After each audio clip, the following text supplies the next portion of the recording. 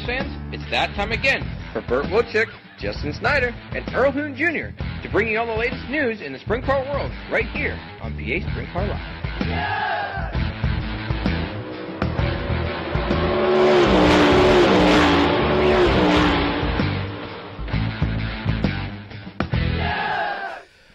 Welcome back, ladies and gentlemen, to another great episode of PA Sprint Car Live right here on Burr Hill Gang TV. Obviously, you know me. I'm Earl Hoon Jr. That's Burt Woodruck. And welcome back from the dead, ladies and gentlemen. He's back with us. Holy shit. I can't believe it. Uh, uh, and he wasn't late. Uh, Justin, Justin Snyder. Justin, welcome back to the show. You got What are we nothing. doing here? That- that's all right. That's all right. Uh, Who are you? Yeah, welcome back, ladies and gentlemen. We have a great show on board.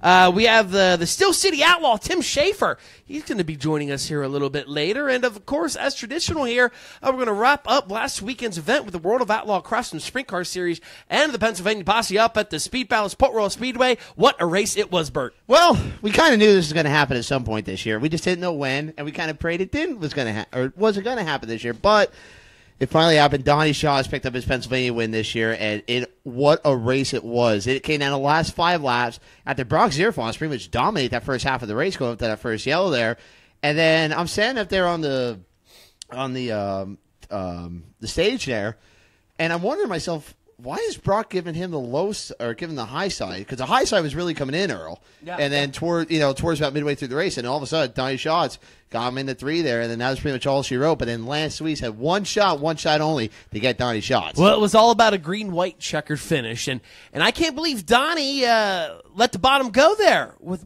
you know that's the line that the 69k runs all the time, and and it came off the turn number two on the restart. Yeah, but that top side was just too fast. You know, Schatz's got a hell of a run off of two, which we see multiple times at Port Royal this year. You know, when you get that high side in uh, two there, you just get a, a slingshot down the back straightaway there, and that's really what propels Schatz to the lead in there and ultimately to the win. Absolutely. Uh, Donnie Schatz won over Lance Dewease, Daryn Pittman, Brad Sweet, Jason Johnson rounded out the top five. And uh, Justin, you know, I, I there's already news. Silly season looks like it's starting already, and we're not even done with 2017. But it looks like, and we said this many times, that Port Royal Speedway has raised the bar for Saturday night tracks, and they pretty much raised the bar for local racing here in Central PA.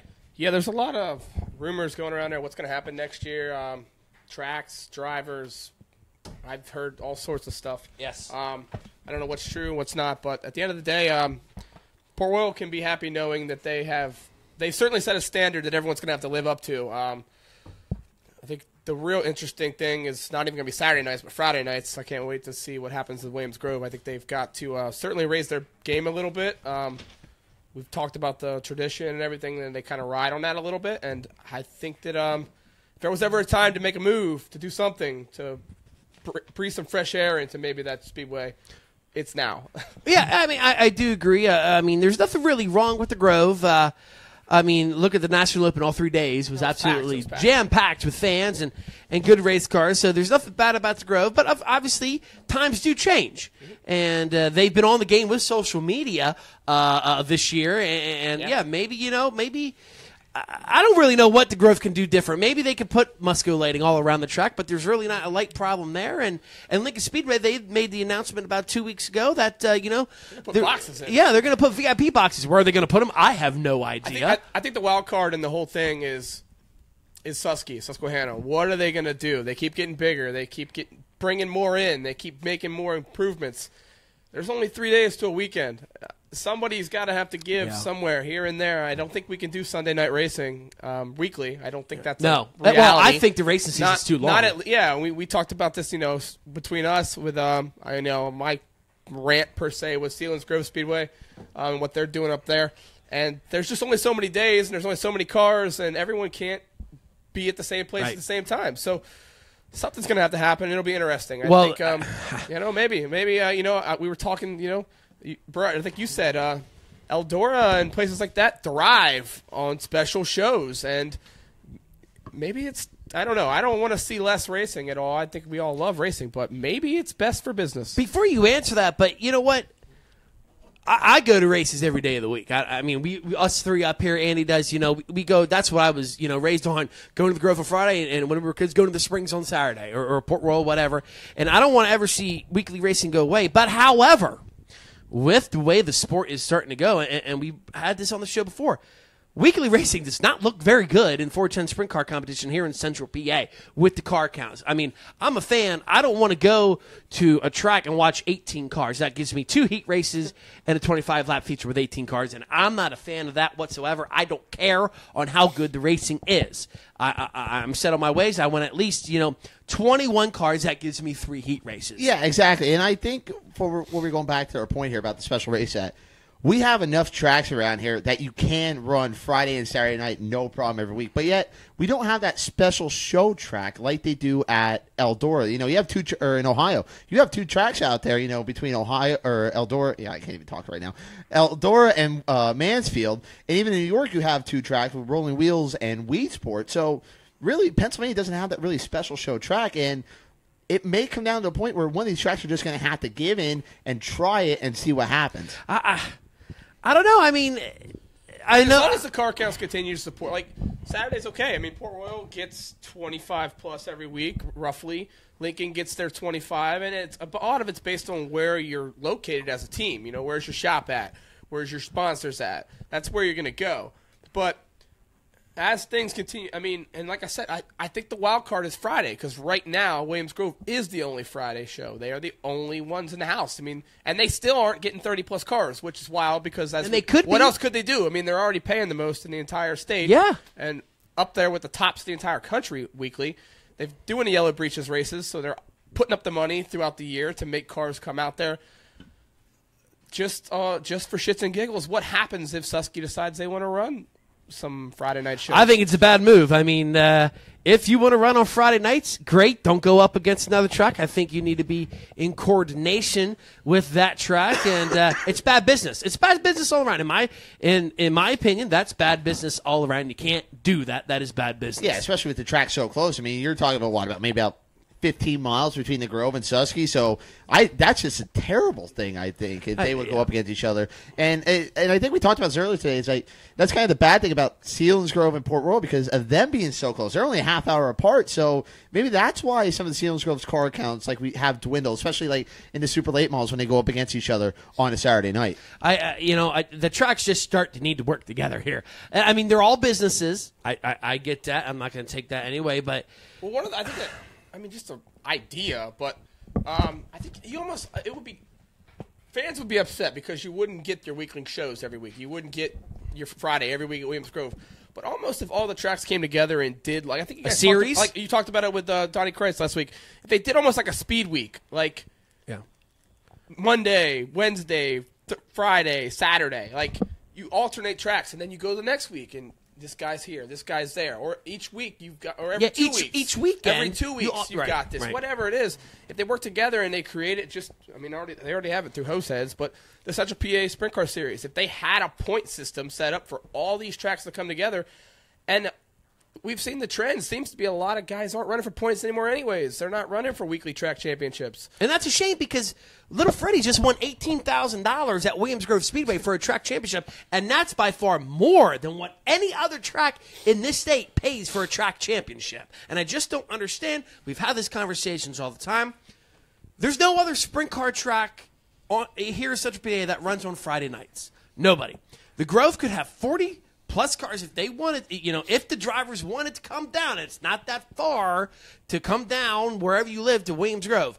They've been starting later. Warm up 7:30. Heat races start at 8 o'clock, which seems like it has helped out some of the drivers. But why are people worried about going to a track in Ohio or wherever, six, seven, eight hours away, when they could run 60 minutes down a highway to a local track that pays more than that track in Ohio, or at least you know make the feature event.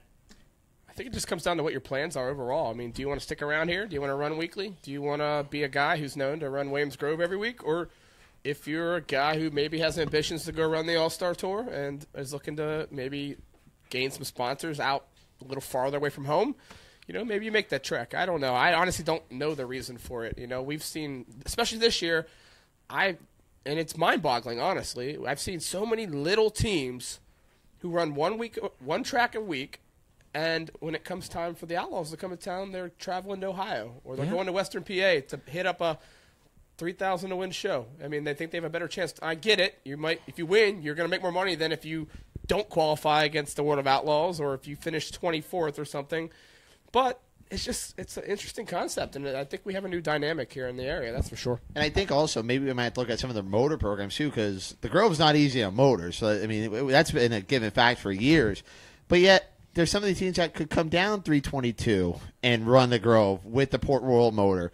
Or I understand if you run Lincoln, if you only have one motor for Lincoln, yeah, you kind of want to go there if you're a team owner. I would think because of it being a little bit easier on motors. But yet, some of these guys from Port Royal, I think they can come down here because you know they have their motors tuned in for a half mile. I agree. I agree. But uh, it's all but the off season here in Central PA, which sucks. But uh, we'll just have to wait and see uh, what comes uh, in 2018 at our local tracks. But the World of Outlaws did go up to New York last weekend. They got rained out at Weedsport, but however, on Sunday they went at the Ransomville, and our guest here later on the night, Tim Shaffer, picked up the win. in a hell of a race, holding off Brad Sweet and Shane Stewart, Donnie Schatz, and David Gravel, who held off most of the race. Gravel exploded a right rear on the last lap coming into the checkers. You see two to go. Shaffer's in the gully on the Yeah, on the on front, the front stretch, straightaway, yeah. and he's back on the track, and I was like, oh man, he freaking just blew that one. But uh, what an interesting track that is! Such a small, narrow front stretch and back stretch to where really there is no room for error. right. Like he really lucked out there. I'd be interested to hear what he was thinking when that happened. Yeah, for sure. I mean, still, I mean, great job by Tim Shaffer picking up his second World of Outlaw win of the year, but he had to really work to get that uh, win over Brad Sweet because Sweet was on him most of the race, especially in lap traffic. Yes, sir. Uh, Sweet was a coming. Uh, Brad Sweet finished second, Shane Stewart third, Denny Schatz fourth, and David Gravel rounded out another top five. And uh, I mean, uh, here's the thing about New York tracks: they're they're totally different than than what we're used to, and and I don't know. I mean, New York, the, their clay is different, and, and, it just looks like it's hard slick right from the warm ups. Well, I think that's what they're used to mostly. I mean, they want that hard, slick track. I mean, if you notice, like, I'm going to use Super Dirt Car for example. Whenever they come in, they want a hard, slick track with Super Dirt Car because that's what they're used to in New York. They're not used to what we have normally down here in Pennsylvania, where they water the track, you know, try and you know bring that uh, berm down a little bit. But yet, they always try to prep the tracks, you know, for the modifieds. It seems like, and they try and bring it over for the Beat- sprint cars. and banging, sliders. You know what I mean? Exactly. Listen, the, the track, it the track can be whatever the hell you want it to be when you can just hit the guy next to you and keep going and call it racing. I mean, whatever. hey, they, I- they proved that at Susky. They were they were beating and banging on each other, but Sometimes that's, that's yeah. fun to watch. is. Sometimes I'm like, man, I just want to see them pass each other. yeah, just Like, yeah, I agree. I agree. Well, I mean, definitely then- then different. again, it could be a little tough though to pass on some of those tracks, though. so very- very maybe it unique. makes some good racing. very unique. Yeah, it's very unique. And, uh, well, ladies and gentlemen, welcome back to another great episode of PA Sprint Car Live. We do have one guest on. However, we're going to open up the fully injected motorsports fan zone to you fans, and, and we're going to try to do like a little fan forum with you uh, great people. And, uh, you know, if you want to discuss anything in the racing world on the second half of the show, make sure you put that in the uh, comment section below. That's the fully injected motorsports fan zone, and uh, we'll talk a- a little bit about that at the end of the show. But we're going to take a little quick commercial break from our partners at Pace Performance.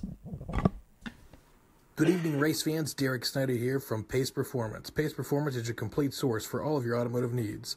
The nation's leading retailer of Chevy performance parts is also home to thousands of aftermarket performance parts, regardless of your vehicle's manufacturer. Visit paceperformance.com to shop 24 7 and see the largest selection at one convenient location. And thank you for tuning in to Beer Hill Gang TV. Thank you, Derek Snyder and Pace Performance. And uh, ladies and gentlemen, I mean, without doubt, Donnie Schatz. What a what a race, and he, and he has to earn. The Yes, I mean, 19 wins in a World of Outlaw uh, Sprint Car Series this year. Just an unbelievable season by that uh, Articat Textron Outroad Off Road uh, Ford Performance number 15 team. Yes, sir. Well, ladies and gentlemen, joining us right now, it's the Steel City Outlaw, Tim Shaffer, one up at uh, Ransomville. Tim, thank you for taking some time, and, and c- congrats on your win last weekend. All right. Thanks. Thanks for having me on, guys. Hey, man, uh, it seems like you're having a pretty good season uh, running in this Rudzik car and uh, pretty much dabbling in whatever race you want to go to. Yeah, it's been pretty cool. We made our own schedule up. Um, we went a little bit outlaw, All Star, out Central PA, um, Ohio, pretty much where we want to do, and uh, it's been working out pretty good. Now, I- I'm interested. I mean, you've primarily run the uh, All Star Tour in the last few years. You've done the Outlaw deal. When you're picking and choosing where you want to go, and you're kind of, I mean, are you picking based on the purse? Are you picking on based where maybe you're better at? Or I mean, how do you make a schedule when you're kind of just going with the flow? Um, basically on a purse, um, we can race and, give ourselves a chance to, to make some decent money on it. It's uh, it's it's pretty neat. You know, I've raced for points since you know in, in the '90s, '95, '96, and then the last couple of years, I've been kind of doing this open schedule, and I really like it. And you know, Tim, you've been all over the world. You've been all over the country. You were even a regular here in Central PA uh, back in the day. And uh, what's 2018 looking like for you? You know, are you going to be in the Rudzik 49? Are you going to be in another car? Are you going to be running the same schedule, or or what? What does 2018 look like for you? Um, yeah, basically we being 49 car at Rudzik, and um, we're planning on doing the same basically same schedule, maybe even a little bit more if we can get a little bit more financial help. So, Tim, I mean, but being in, you know, in Aliquippa there, I mean, you're kind of centralized there between going to Central PA and going out to Ohio or New York or wherever have you. Where does that kind of give you an advantage by being out there? Because then, I mean, you kind of can audible the last minute and say, hey, if there's rain at one place here, you can kind of, you know, turn around, go back, and try and make another race. Exactly, and we have done that too. You know, it's um, yeah, if it looks like rain a good chance of rain, um, we have gone the other direction, and it makes it really neat where you're not committed just to going one deal, and you you can bounce around like that, and and, and it makes it funner. I mean, I I've run schedules for years, you know, for points, and and when it's raining, you got to go no matter what, you know, and it's pretty nice when you, know, you can kind of make your own decisions, and you know it works out really good for the team. Now, I've been on I've been on your guys' bandwagon since the beginning of the year. I think I've been talking up you guys since the start. You looked fast out the gate, and honestly, every time you guys seem to show up, you're I mean, I think you're probably about a top five car. You won two outlaw shows. You picked up some other wins here and there. What I mean, I'm sure your expectations were to be fast. You want to win races, but how has this year gone in terms of just how you thought it would go? I mean, has this been better than what you thought might happen this year?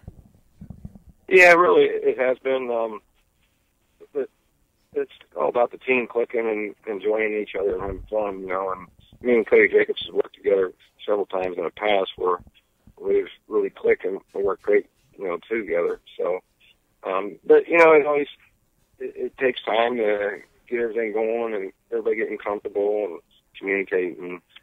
But um, our deal seemed to click off a little bit quicker. For you fans that are just tuning in here, shame on you. Should have been here a little bit ago, but that's all right. We have the Steel City Outlaw, Tim Shaffer, joining us. If you have any questions for Tim, make sure you put them in the Fully Injected Motorsports fan zone below. That is the comment section right below our screen. Now, Tim, I think the main question here is uh, Ransomville. He picked up the win there on uh, Monday night. What was going through your head there when he hit the goalie there on uh, coming out of turn four there? Because a lot of us thought there uh, that might be the end of you there, bud. yeah, I think some of the motocross days experience helped me out there. Um, yeah, I don't know it. To be honest with you, um, it was a very close call, and uh, with uh, to get back out on the track and still be out front was awesome.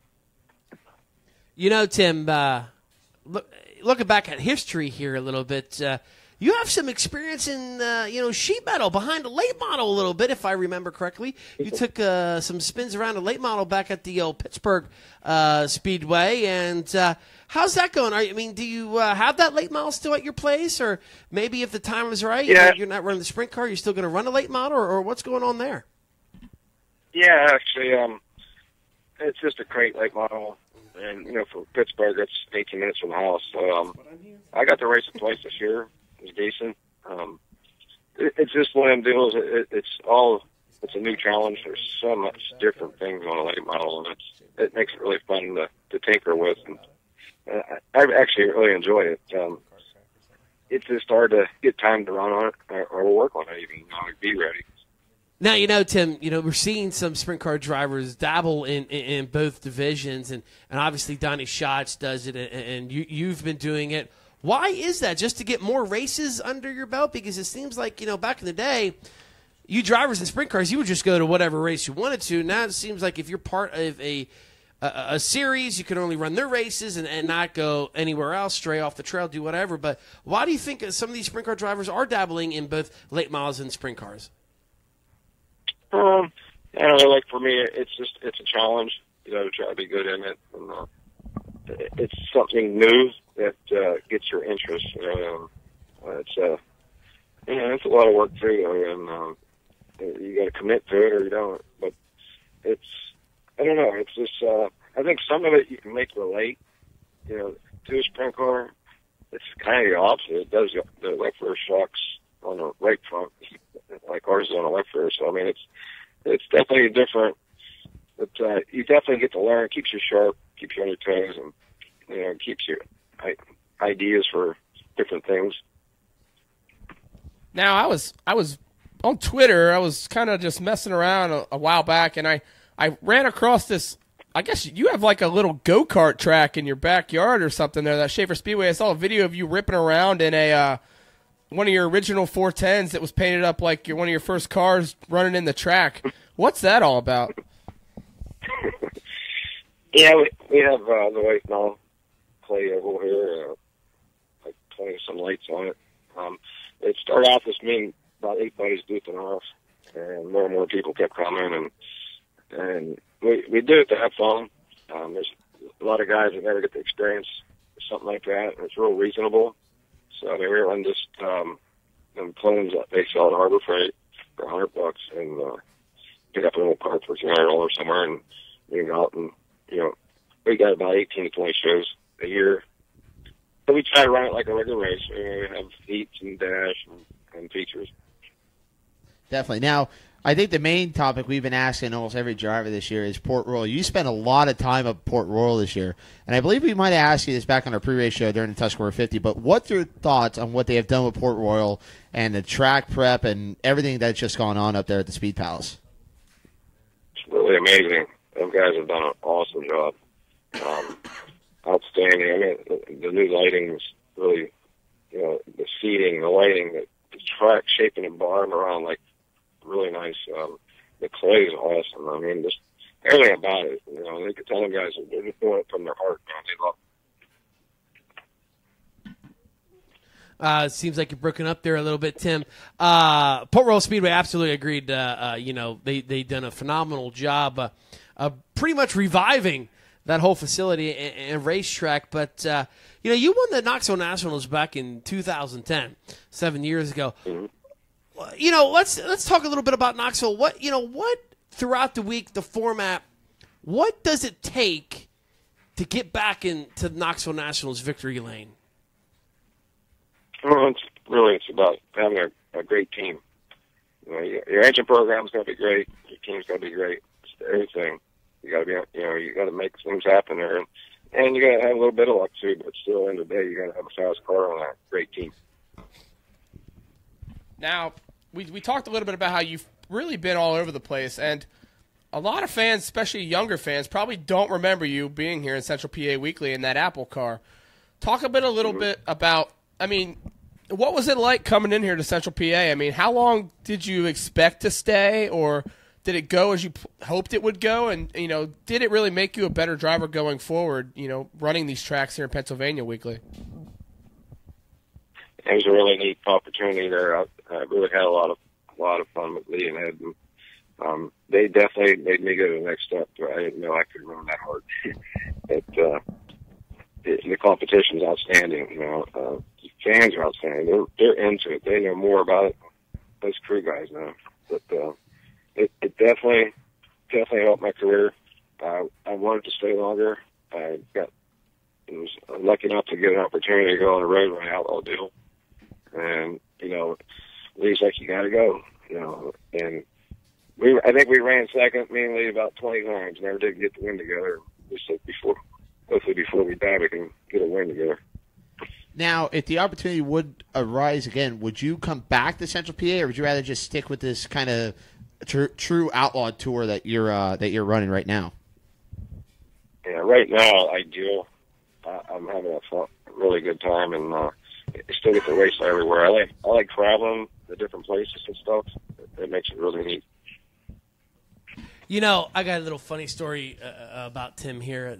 One night at Lincoln Speedway, uh, I forget where they were at, and it rained out. And, and shocker, Lincoln Speedway gets it in. So Tim, Tim shows up a little late after warm ups. Okay, pulls the trailer and comes out, brings. Uh, Tim, I can hear Tim laughing in the background. He already knows what I'm going to say. But uh, Tim brings the car out. You know, gets heat in the motor. Comes out in a heat race. He's like the last car out there. They start to warm him up to line him up in the heat race. What does Tim do?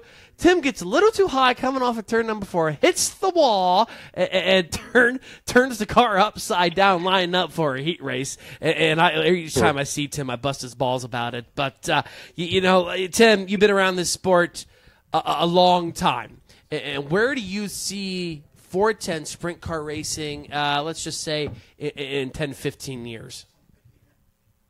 Uh, it's hard to say, you know. Uh, it seems like everything's picking back up, though. I mean, the last couple of years. So I'd love to see it carry on, you know, and younger guys get the opportunity like I have. I I got to race pretty much uh, since '95 for a living. So um, I just love to see it get stronger, get better, and let you know where a lot of people get to go out and and be on the road and race for a living. Now, what about some of the younger competition we've been having here in Central PA? You know, there's been a lot of young guys really flexing their muscle this year. You know, we have Anthony Macri pick up a. Matt Campbell picked up a couple wins this year. What your thoughts on the future of the sport here in Central PA? Uh, it looks good, you know, uh, especially when you got Port Royal really step up the plate and, you know, update their track. And, you know, it goes a long ways. I mean, a lot of people see that and, like, and it shows interest. And, you know, we need these young guys coming up through so we, we can keep our racing strong. Now, in another regards to that, though, we've seen, especially here this year in Central PA, and a lot of some people seem to complain about it, and I think it's a great thing. But we've seen guys like your Kyle Larsons, your Ricky Stenhouse, your Kasey Kahnes, your Tony Stewarts, these big name guys who are really coming back to the sport that made them who they were. And some people get upset. So they're like, "There's too many people here," and I'm like, "How could you be upset that there's too many people here? There's too many cars here." How do you feel about you know a guy like Kyle Larson who is sitting up top in the NASCAR standings, showing up 40 times a year at these local tracks and bringing fans back to the sport? I think it's awesome. I really do. Uh, hats off to them guys to do that, man. It's amazing the love there is for sprint car racing. Just imagine them guys are out making real money. They're coming back playing around in a sprint car where they can, you know, they can get hurt or whatever.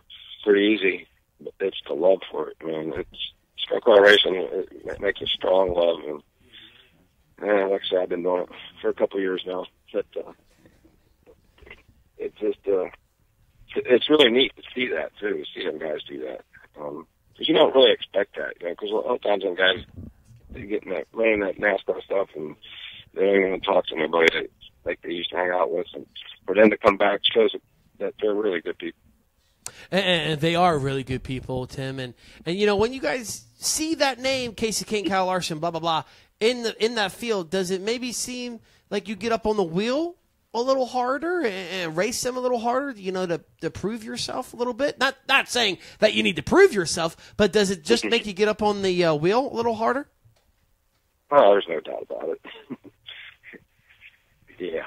Yeah, Short and sweet. yeah Attaboy, short, Tim. short and sweet. I like that. I'm sure it's I'm sure it's nice too when you're running an all star show and Tony shows up and you're like, not only did I beat you, but now you got to pay me. yeah, yeah, exactly. You, you you know, Tim. Uh, yeah, go ahead, Tim. Yeah, so the only I just joked around. Come in and take the money. We're like, I said, hey, somebody had to win it. Yeah, a- a- absolutely, Tim. You know, a, a lot, a big subject that we talk about here is cost in a, a sprint car racing. And I mean, I know you're running for car owners, and you've done this, you know, by yourself. You know, you know, way back in the day. I think you ran in your own stuff when you were the Lernerville track champion back in 1993, if I'm correct. Maybe not. Um, but uh, cost what do you think about the cost? Are we are we just outpricing ourselves when it comes to motors and tires and everything, or or do you think it's right where it should be with the times that we're in? Well, you know, it's uh, engine deals out of control, out of control. You know, and, and it's it'd be be all right if the prices went up with the engine prices, but they haven't. And how to fix it, I don't know. You know, it's a I, I just don't know. I mean, it, it's just so this engine is so expensive, and you got all the expenses going up and down the road, and your tire bill and everything on top of it. you know, and then they, then we're running them less races. You got to get them rebuilt. You know, so yeah, the only thing if the person could go up with that, it'd be fine, but they haven't, and that's just the way it is. And you know, only thing I see probably down the road would be freight engines where you can run them 60 nights, you know, but they're it's not what everybody wants to see.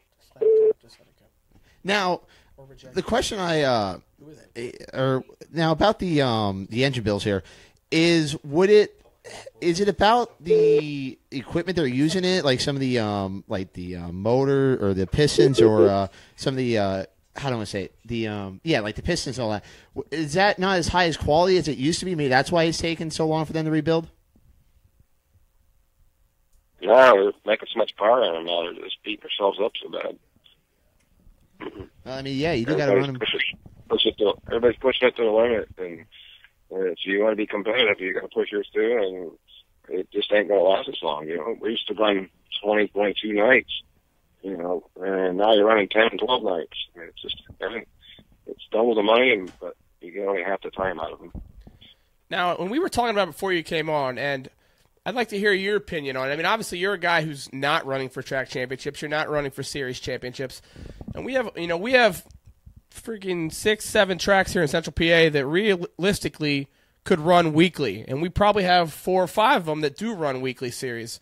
What's your thoughts on, uh, you know, obviously Eldora, uh, your Knoxvilles, some of these bigger tracks that pay more money weekly that aren't running weekly series, that are really running special shows only. Do you think that that's the way the sport might go here soon, where these tracks are not going to be running weekly anymore, and they're just going to be running basically your outlaw shows, your all star shows, your your non sanctioned forty grand to win shows? Is that the way to go? Honestly, yeah, it probably is. You know, it um, doesn't burn the people out, the fans and stuff, and they make them more hungry to come back. You know, when you run that week after week, week after week, you know, it's just uh, it's a kind of a grind um, especially when the cost, you know, the tickets, everything's getting higher. You know, the cost to get in and the food, the beer, everything. Um, just, you know, I don't know. It seems like it's getting out of control, but I guess uh, it's part of how the times are. Oh, Tim, let me tell you that beer that beer rocks up, buddy. Let me tell you. I'm I mean, glad he covered the bases. Yeah, cover, cover the beer. The, the, the beer really rocks up when we're buying 30 cases every other week. It really rocks up. We will pay, you know, the 20, 25 bucks to get in the race, but that beer goes up another dollar. I don't know if I can go anymore. Oh, I tell you what, or you go to the Dingus. I swear, if they raise another dollar on shots, I'm going to go bananas. I got a lot of, I'll uh, buy 'em. I got a lot of stories uh, about the Dingus, as we all That's we do. why we're friends with the PBR guys. they keep us going. Yeah, Tim, uh, real quick, thank you for coming on the show. But obviously, you have some great sponsors uh, uh, on your cars that you run that get you up and down the road each and every weekend. Yeah, definitely. Uh, you know, the Ruswick Excavating. It's Jeff Ruswick and Joe Dinium, two partners on this deal that keep us going down the road. And uh, then we've been running Triple X and um, the engine program. We got Ryder, we got Kresman, and we got Charlie Garrett. And we've won with all three, so it's pretty awesome. I'm know, glad you got your uh, I'm glad you got your engine base covered, buddy. That's good stuff. Real quick question. I I never I I've heard this more this year than past years, I think. And maybe it's just because I don't know, you just take what you can get or you want to try different things out. But in recent in past years I've always known like teams to kind of if you're a rider guy, you're a rider guy. If you're a Garrett guy, you're, what I mean is there is there any like issues between the motor builders when you're like, hey, we're gonna drop a uh, we're taking the rider out and we're gonna drop a Garrett in? Is that like a is it just kind of like hey, we, what, whatever we got and whatever's fresh is what we're using. Uh, yeah, they're they're all they all doing a great job. Um, this ended up that way. To be honest with you, we had a couple Kresman. We needed a new engine. He couldn't do it at the time, so I ended up going to Charlie. At, I'd known Charlie for a lot of years, and I talked to him basically in the in seeing if he would build an engine, and he did. And in my eyes, he's the best guy out there in the, country, in the world. In my eyes, I mean, Charlie really knows his program, and um, and then we bought that used one off Ryder, because Charlie could only do one engine. So we were looking for another one, and it come up it was one of Hobbit's engines um, that they didn't like or whatever. And um, we end up buying it, and it's uh, it's pretty crazy to have three different engine builders. yeah, I say so. It's, it's got to be strange if you rip off three or four in a row and you're like, well, this was the wait, which engine did we have in there again? Yeah, and that's like you know we went to Outlaw Show up there in New York. That was like there's a new Kresman engine, Scott Kresman from Ohio. That thing ran really great. So everything we got seemed like we're getting a, a good arsenal. You know, where we can uh, be competitive wherever we wherever we go. And, and you are, Tim. You are competitive each and every race you enter. Thank you uh, for coming on the show uh, uh, tonight, and uh, good luck this weekend or wherever you, whatever you do this weekend. Good luck at it. All right, buddy. We're actually going to race good courts Saturday here. boy. Oh, racing some go karts. Well, well, good luck uh, in go karts, and especially good luck when you're done racing go karts this Friday night. we might have a couple beers afterward. yeah, don't make sure you don't let the cost go up. Thank you very much, Tim, for coming on the show, bud. All right, thanks for having me, guys. Absolutely. buddy. The Steel City Outlaw, Tim Shaffer, just joining us here, and uh, he's always a good time to talk to. Always worried about that bottom line about, you know, how you keep the cost of beer from going up. You keep buying the damn stuff. Tim Shaffer, I think, will keep us in business for a long time. Absolutely. Tim, you know, Tim, Tim, what what a hell of a guy he is. You know, I I will say, um, just personally, I think I I never really necessarily appreciated Tim Shaffer like I maybe should have because. I mean, for years in the All Star Tour, it was like it was either going to be Blaney or Shaffer or Kevin. It didn't matter. It- They were just going to win, and and it always seemed like I mean, when I think of the All Stars, I think Dale Blaney. That's what, he's the all time winning, winning a driver, and Kemenah's kind of the guy now. But then you look back and I'm like, damn, Tim Shaffer won a Knoxville Nationals. He he won I think two in a row with different car owners on the like he it didn't matter what he was in, he was winning races. And now that I and this is why this year I think I'm more I, I really have recognized him this year because he's in a new ride. He's going all over the place, and I was like, "Damn, that car is just good everywhere they go." He's not just an all-star driver. He's not just a guy hits Ohio. Like, he is up. I mean, honestly, if, if I had to make a poll this year right now, the top 10 drivers in the country, he might be in the top five this year based on what they've been able to accomplish. I tell you what, I mean, Tim's a hell of a guy, and, and he deserves to be on a tour permanently. But I kind of miss him around here, you know, full time running the local circuit here. I mean, nobody really knew who Tim Shaffer was when he cracked the when he cracked here in the Central PA in the Apple When Motorsports said, number when they said the Steel City Outlaw, I said, "Where the hell Yeah. is the Steel City? Yeah. That is not Central PA." Yeah, absolutely. and nobody knew who he was, but you know what? He was fast. I mean, I know you know you had Lee Stauffer and his old man wrenching on the car, but you could never count Tim Shaffer out in that Apple 12 running here on a weekly basis. Yeah, I mean that was one of the perennial cars too. For them to put him in there, I think everyone had to know. I mean, this I wouldn't say kid because he certainly wasn't a kid, but say this guy's pretty good. I mean, to, to land that Apple ride and it, like you said, didn't stay very long. And I mean, I think that being fast in the Apple car was part of the reason he was able to go up to the tour and run, you know, the Vibrant, uh, the, the San Michelle car, the 11. 11, yeah. And then um, I think he might have run The six. the Casey's General Stores Yep. car, I believe, Yep, too. yep, Um, he's been through the ringer in terms of good rides. He's had great rides. He's had a lot of success. And Tim Shaffer, I mean, he's not getting any younger, but he's certainly not going away. Yeah, and I really think too, like you just said, for as long as he's been around too, he's still good. Like he's still racking off wins. He has four Arctic Cat All Star Circuit Champion wins this year. He has two uh, World of Outlaw Cross Sprint Car wins this year. He has a couple other wins throughout the rest of the country. Even picked up a prelim night in the uh, Knoxville 360 Nationals there. So Tim Shaffer, no matter what, he can still win races. Absolutely, he can. Ladies and gentlemen, we are going to take a real quick break here. When we come back, it is your time to shine. We're going to open up the page. It's going to be a little fan forum. Whatever you want to talk about this season, next season, whatever, it's going to be up to you. Make sure you put them in the fully injected motorsports fan zone down below. We'll be back after this quick break. Hi, my name is Tyler Altmeyer, and I am the owner and founder of Fully Injected Motorsports and FullyInjected.com, a professional short track PR firm that has been in operation since 2010. Headquartered in western Pennsylvania, Fully Injected Motorsports focuses primarily on providing professional grade press to motorsports teams, racetracks, and organizations all throughout the country, keeping your fans and other racing enthusiasts up to date with breaking news, event schedules, and recent race results. Our original content and mass distribution service is sure to keep your sponsors, as well as your team's biggest supporters, in the loop and on track. For more information, contact us today at fullyinjected.com. Now, back to PA Sprint Car Live on Beer Hill Gang TV. Thank you, Tyler Altmeyer, and fully injected motorsports fan zone. Well, ladies and gentlemen, Where's our hats, Tyler? Don't worry, we're gonna have some good swag come next year. I'm already in talks with them. We're gonna have good stuff. Uh, this is your time to shine, ladies and gentlemen. If you have anything you want to talk about from this season uh, to next season, whatever you want to talk about in the sprint car world, put them right here in the fully injected motorsports fan zone. But as you do that, we're gonna preview this weekend coming up. Yes, sir. Of course, we have the final race up at the Speed Palace Port Royal Speedway.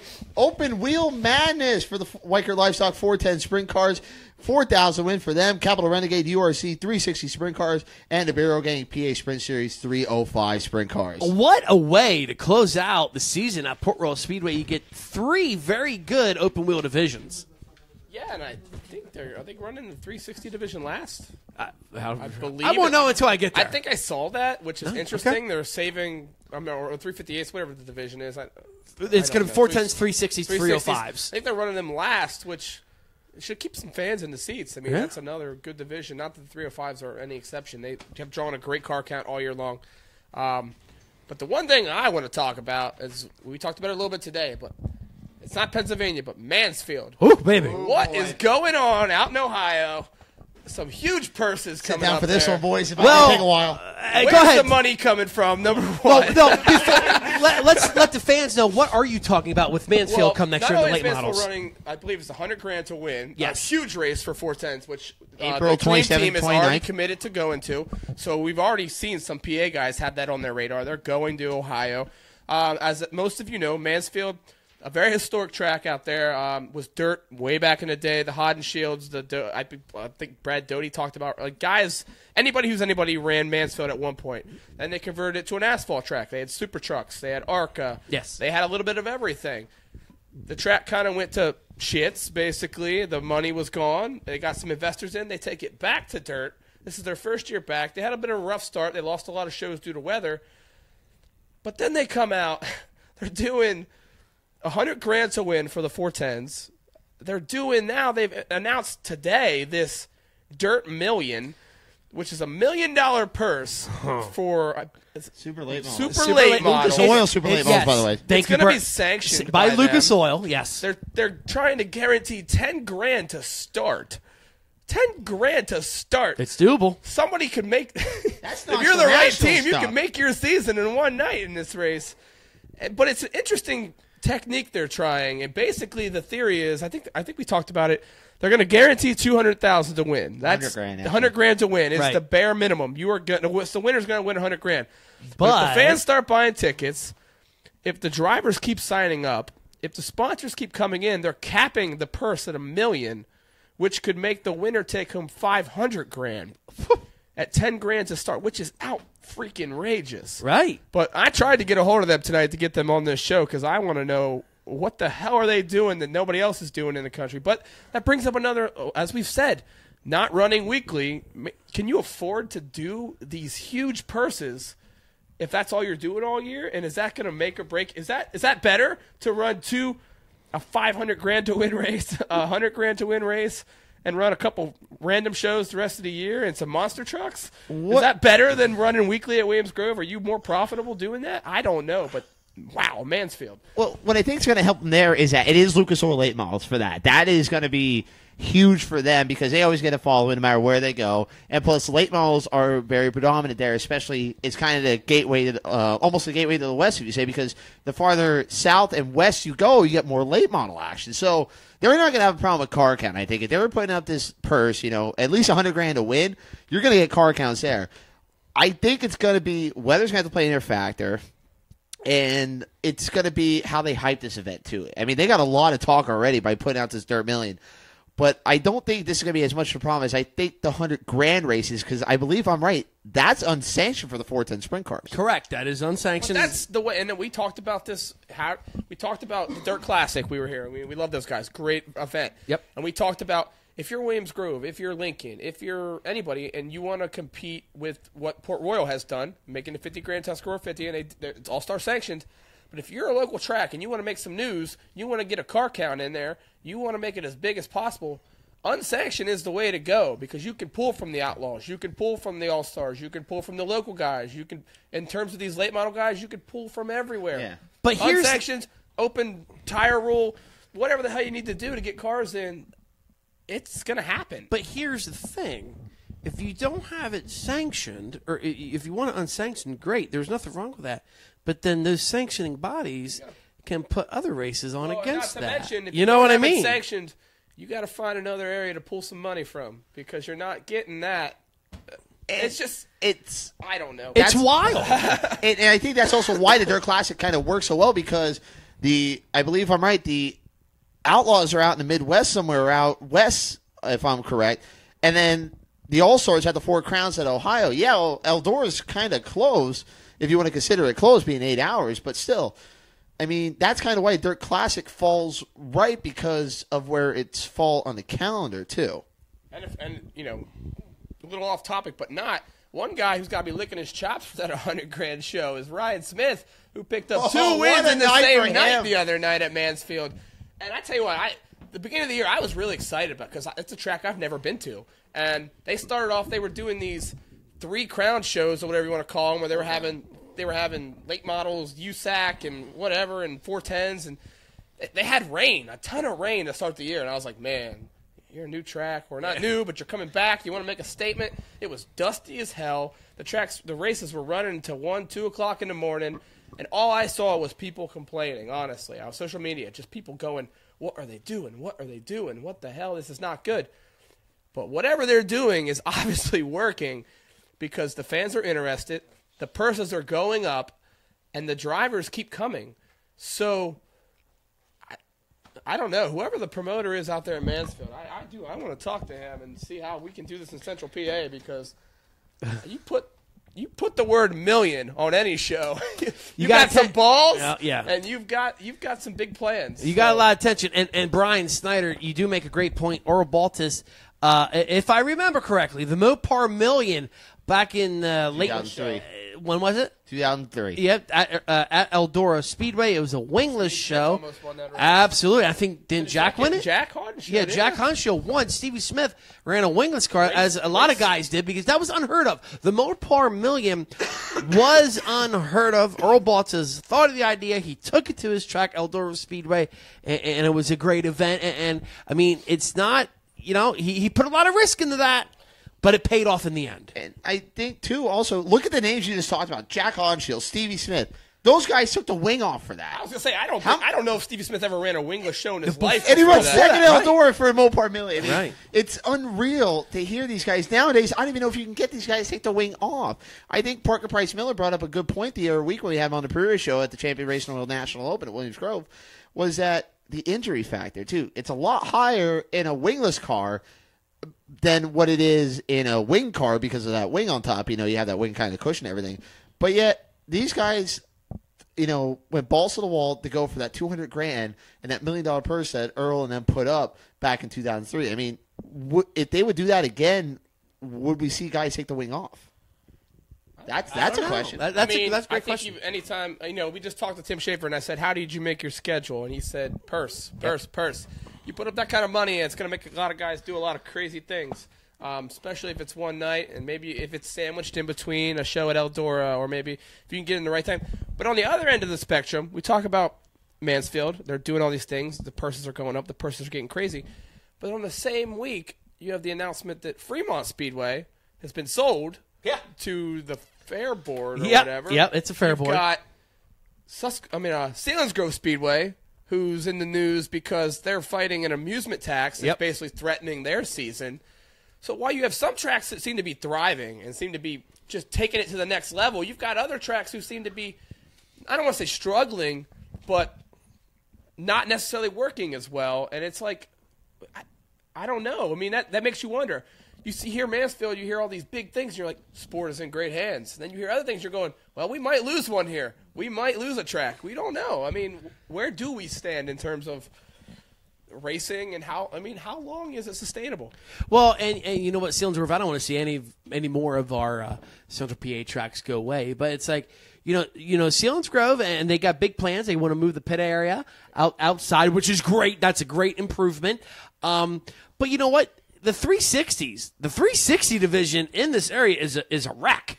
Right now, I, I'm not afraid to say it. I mean, it, it's a wreck. You, you local news articles. You pay attention to social media. The 360 division is And now we've got right another now. division that they're Which taking the wings off. we don't need. in Central PA. And I, We do know, not need I'm not going to lie to you. Listen, I'm all for racing, more racing, more cars, more events, whatever.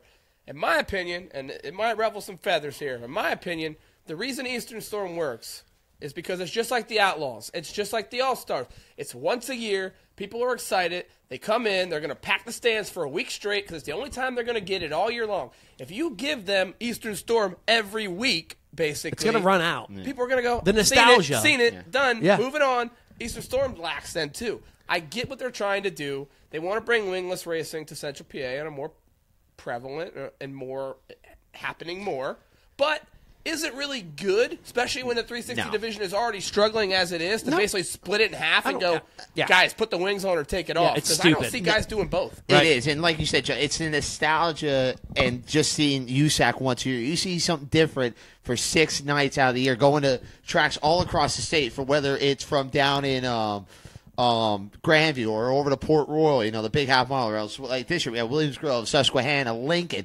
You have such diversity. Now you have these guys coming in with the URC. I mean, don't get me wrong, it's good to see you know another sprint car division, but yeah, as Fred Rahmer said a couple weeks ago, there may be too many divisions here, and I think this might be one of those things that may that may hurt And it- USAC down the road. And this is the thing too. I mean, we said there's too many divisions, but and we talked about it. With, and I will especially say, like with Steelers Group, like uh, the Super Sportsman, Steve Wilbur brought the wingless sportsman to Path Valley on Friday nights. Right. And the reason the wingless sportsman from Path Valley works on a Friday nights is because the only track they're running up against is Williams Grove.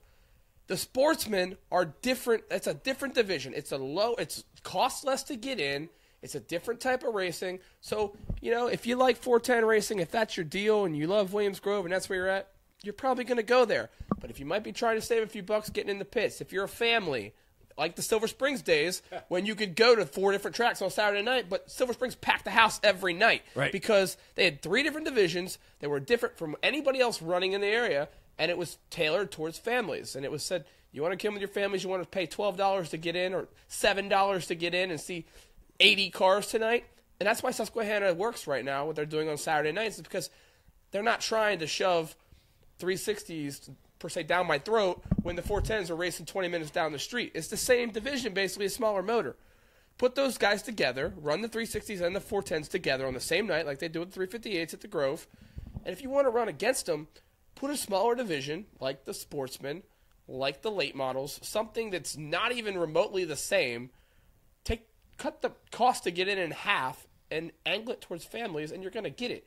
If you're going to try to give me wingless 360 racing or 360 racing within 20 to 40 miles of three other tracks that are running basically the same thing, you're going to struggle to get fans in the in there. You're going to struggle to get cars there. I agree. It's just you got to have something different, and frankly, it's not that different. It's just a smaller motor.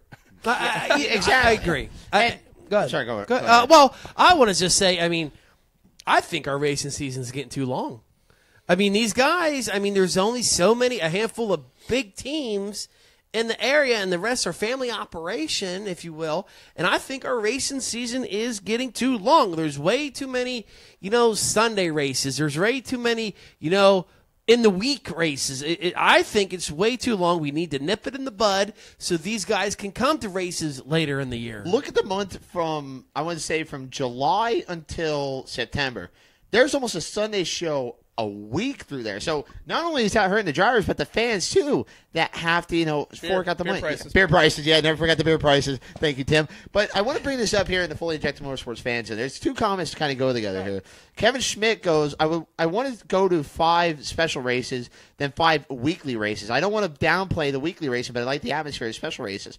That's fine, but then Bre- or Brian Warner goes. Now this goes on the wingless thing here, and I want to kind of tie these two together. Wingless are incredible at Linda's, Lanco, and Path in their small track cars. If you get them on the small tracks, you will get the right drivers series. That works for the 600s.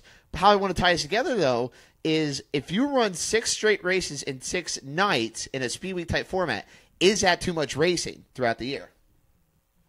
Uh, yeah. Yeah. No, I mean, like with USAC, I get it because they want to bring that. You don't see that that often. You know, you kind of want to go these it's different tracks. Yeah, exactly. thing. It's different. Plus, the racing always good no matter whatever track they go to. It seems like whenever they come in. But now, if you look at a speed week type format, where you know, okay, that's another nostalgia thing. You do ten races in nine nights, or or ten nights, eleven nights, whatever it is.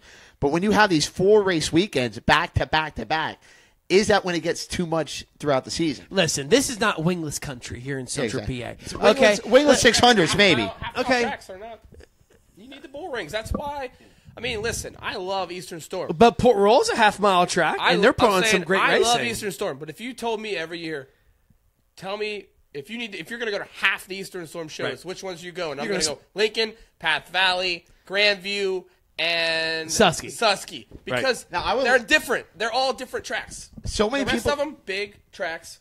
And great racing. I love watching them at Port Royal. It was amazing. Yeah, yeah. I love watching them at Williams Grove and the Silver Crown guys Yeah. once a year. And but no doubt about it, even the midgets, the U- USAC midgets, they run better races on the bull rings. That's what. Linda Zelenko, per- perfect example. The racing has been phenomenal there the past two years. The USAC Amsoil National Midgets have been there, and even Susky, like they put on a great show at Susky. But it's a car count thing where ARDC is not getting the car count, but when USAC comes in, they get the car count. Now, a lot of people have been clamoring though for Path Valley to get that USAC 410 show, but also I've been hearing now that there's a rumor mill going around that there may be a second Eastern Storm between New Jersey and New York. That might take away some of the nostalgia of them just coming running PA. Listen, with this sub- Too much going on, folks. with with this subject, we don't need another 360 division, winged or wingless. It's not going to work. Okay, it's just an awful, god awful idea. Get trash it, throw it up in a ball, throw it in the trash. It's awful. You need to work on your 360 division uh, with the wing on it. Or you're not going to have any cars around. Period. Because in my opinion, in my opinion, I think guys are spending too much on a 360 motor uh, for running half of the person what 410s do. When you could spend the same on a 410 motor and run for double of what 360 runs. Period. Yeah, I mean- Goes with the 305s too. 305s. I know what some of you guys are putting into your car. Shenanigans. Get it, big fella. Let's go. Okay. You, you, you need shenanigans. Someone- Shenanigans. Farva, Farva, come on now. Farva. Farva. Step up to 410. Knock it off, okay? Spit, spit. Quit spending as much money as you want Can on I a just say, 410 uh, the and night- step it up to where you can run for And real I'm money. guilty of this myself tonight, apparently. we opened this thing up to open forum, and all we've been doing is bitching for. Yeah. Let's talk yeah. about some positive here. Is that let's look at what next year brings because yeah, there may be a downside in what some of the car counts may be, but yet there could be an upside because of all the you know the newer names coming up here. But yet also what we saw this year with Port Royal. Speak of the devil, Lucas Oil Late Models announced this week they're coming back April twenty second for a ten thousand. I'm loving that. Excited. That was a great show last year. Yes, sir. So with that being said. If this is an early announcement from Port Royal, their second early announcement with the Tuscarora 50 next year being 51 grand to win, what else can we expect out of the Speed Palace? And what other tracks uh, is this going to make the tracks step up their game to try and go up against Port Royal in trying to how do I say it? I just want They to know, wanna- I- was Colton watching? Because I'm tired of seeing those emojis of the whistling guy and all of his ideas he's got coming for next year. that's Let's just tell me what the hell's going on. Let- yeah, let's see some And, things and here's the thing with Port Royal, the 22nd, that's probably a Sunday, I'm going to assume. Yes, right? it is Sunday So show. with Luke And they're Soil, at, they're at Hagerstown the night before. okay, great, good job. the racing at Hagerstown for the last 15 years hasn't been good. Uh, but maybe the Grove, if they wanted to, and it all depends on whatever management wants to do over there and sanctioning fee, blah, blah, blah.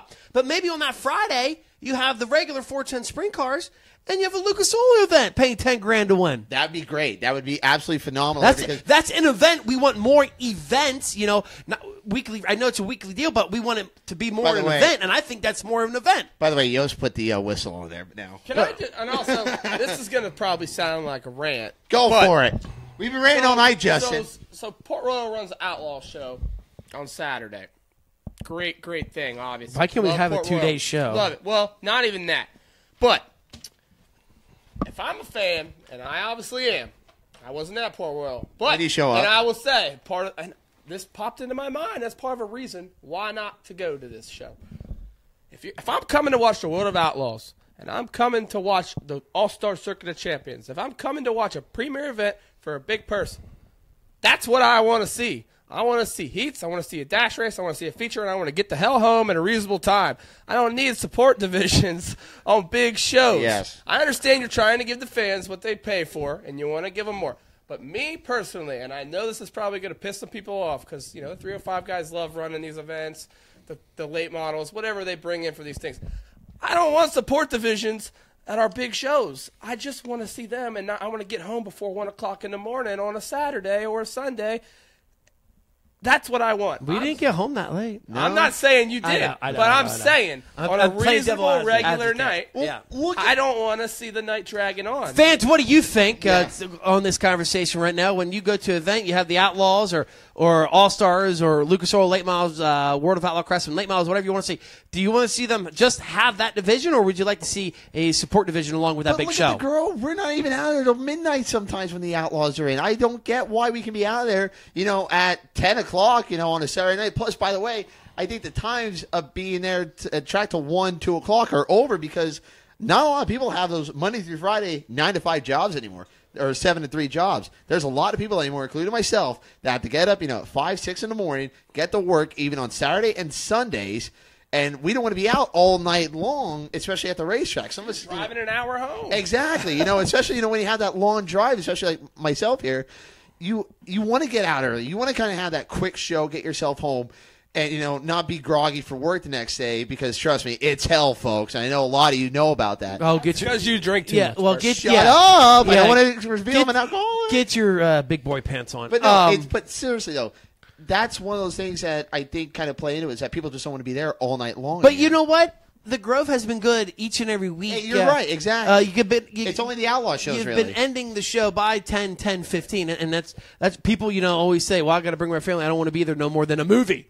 You know, and before, man, way back in the day, I remember getting out of the Grove or some other tracks at one o'clock on a regular basis. Plenty of nights. I mean, At the Springs, we'd be getting out of the Springs on Saturdays, and they'd be setting up for the flea market on Sunday. with 80 cars there in one division. Yeah, in one division, right, right, right, but right. uh, no, I mean, listen, that's not. I, you know, that's not a knock on these divisions. No. I, I pre- you know, I'm sure they, I know they appreciate the fact to be able to run on a big stage with a lot of fans in the in the stands.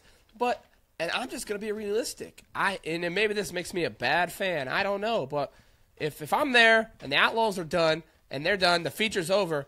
I'm probably going to get to my car to try to beat traffic a little bit, and I'm probably not going to stick around. Kudos to the dedicated fans who are staying all night to watch the extra divisions and supporting those guys. you had to. but it ain't me. I'm sorry. No, I, I, I, if I didn't have to, I'd still stay for it anyway because Yeah. I, I just love racing and, Yeah. and I don't have anything to do and I really that's don't give a shit. I mean, I, I, to be honest, the E mods they were a great support division, but they're not bringing the cars, is what I thought. So, in my opinion, maybe we get a new uh, a new support division. And, and I mean, I listen. Here's one that's been Go, listen, Royal. let's talk about the world, the uh, Bad Boy Buggy World of Outlaw World Finals. Okay, go for it. They got three divisions. Okay, now they're not they're not support divisions. They're the best divisions you could ask for in one show. They get 50 sprints, they get 70 late models, and they're probably going to get 50, But if you 55. held that, if you held that event in the middle of the season, would you get the same car? Absolutely not. Absolutely not. Nope. It's the last race for everybody. No, but we're country. talking about divisions. So when you go to the event, you, you pay good money, and it's a great event. If you ha- have never been down to Charlotte at the end of the year, make sure you go. It's a great event. But are you just going to be there and watch your division and then bounce after the? I, I think it's different though. I mean that the, that that event per se. That is the final race of the year. Basically, if you were there, you probably are not planning on attending any more races for the rest of the year. That is the end, basically. well, it is, yeah. So yeah, you're gonna soak it all in. You're gonna take in every lap, and you're gonna stay until the last beer is gone. and even after that, you're gonna find somebody next to you that still's got one, and you're gonna watch the rest. Hey, can I bum uh, like I said, if you hold that event in July, I don't think you don't get 50 cars, 60 cars in each division. You get 30, 20, and 30, maybe. I, th- in my opinion, but I don't know. I mean, Hey, you know what? You know what I want to do? is piss people off night apparently Yeah, because I'm yeah. sure it's going to happen. you know but- what I want You to know do? what, though? A lot of people have been agreeing with you guys, though. You know what I want to do? I mean, for next year, I, le- I just love racing. Uh, I think next year for the World of Outlaw uh, Craftsman Sprint Car Series event up at Port Royal, uh, maybe have the two day show if you want to do it. If not, let's put a 2,000 win, 3,000 win super late model show and call it a day. Hey, I don't care what you do. Just get me out of the track at a reasonable time. Oh, with you- beer still in the cooler. Yep. Tell them what you said. Of, Right. tell The them- key is the beer should not be in the cooler when you leave, Justin. That's the key. Yeah, exactly. But I think you're right. I was going to say that super late models would fit. I think better than what Absolutely. the E mods would. Make it Be- the last Route 35 series event. Yeah, that'd be perfect. Maybe. Instead of ending it at the Tuscarora 50, which is a great ending, by the way. Yeah. Bring them in there, and not. Um, we're not talking about the steel block late models too. We need super late models up there. If you're going to run that, why not just showcase the best drivers you have there? And you might even bring in some invaders too, because I don't know if there's really any racing going on. You know, during that time period there when um, the or World of Outlaws are at Port Royal, Ah, you might get some invaders in. That's why uh, you never know. Yeah, you you- never know. Uh, but I like to see that show go uh, uh, uh, a Friday and Saturday, not just a Saturday. But it is what it is. It's another World of Outlaw show in Central PA. Here's the thing, though. I don't know what the day is going to be that for next year because apparently Lawrenceburg or somewhere out or Terre Haute scheduled a date already for the World of Outlaws on the normal Port Royal weekend. So could that be moved back to the summer, or could we see it move maybe a little bit closer to World Finals again? I mean, I think with the improvements you've seen Port Royal do this year, I and I'm not obviously nothing's happened yet. I'm not, I wouldn't be surprised if we see Port Royal have two dates next year. I think they should. Yeah, they you don't should. Have to have a, a, a, a, a one day show in July and then bring them back here in October. Just have a two day show in October. That's all you need to have. Well, Lincoln used to have you know what two Outlaw shows uh, a year. I mean, what happened to that? So, I mean, I I don't know. I mean. We got a lot of time to mull this over until we're back in February. I hate this. We do, ladies and gentlemen, and I'd like to thank you for tuning in to another great episode of PA Sprint Car Live right here on Bear Hill Gang TV. If you have nothing to do tomorrow, the first night of the Linda's National Open for the 270cc micro sprints and the 600 micros. Uh, go there, enjoy a time, uh, then go up to Port Royal on Saturday for a three division. Susquehanna next week. Absolutely. Uh, we have a show. Don't count us out just yet. We have we have about. Uh, of course, you'll see. It all depends on whatever. Uh, we have we have uh, about two more shows of PA Sprint Car Live coming up to wrap up 2017. I'd like to uh, thank you fans for tuning in. That's Justin. That's Bert. I'm Earl. Of course, our great man Andy behind the keyboards tonight. Wishing all you a great evening.